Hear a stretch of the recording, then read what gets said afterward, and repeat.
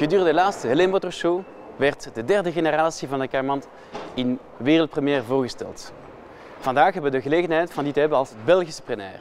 Die Cayman is eigenlijk lager, langer, lichter, sneller, efficiënter en krachtiger. De Cayman bestaat in twee verschillende versies. De gewone Cayman met een 2,7 liter van 275 pk. De Cayman S met een 3,4 van 325 pk.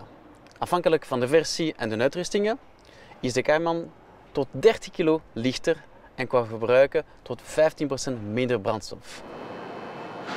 Vandaag kunt je de nieuwe Cayman wel bestellen. Die zal in maart in onze achtste concessiehouder wel aanwezig zijn.